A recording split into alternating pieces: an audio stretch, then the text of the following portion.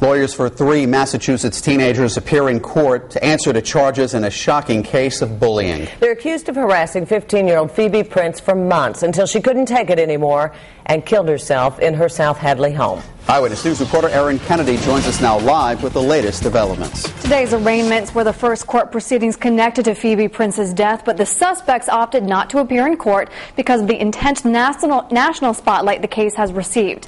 18-year-old Alex Renaud, seen here on the left, is charged with statutory rape.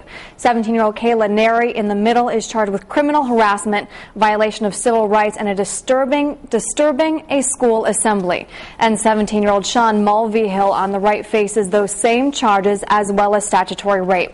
Prosecutors say the suspects were part of a larger group of teens at South Hadley High School in western Massachusetts that relentlessly bullied Phoebe Prince for three months after she had a brief relationship with a popular senior at the school.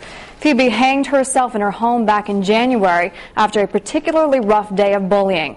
Today in a Northampton courtroom, lawyers entered not guilty pleas on behalf of the three teens. The teens are now free on personal recognizance and were ordered to stay away from Phoebe Prince's family. And although they were not required to appear in court today, they are legally obligated to show up for their next hearing. A total of nine teenagers are facing charges in connection with Phoebe's death. Three more are scheduled to be arraigned on Thursday. Kennedy Kennedy, Eyewitness News.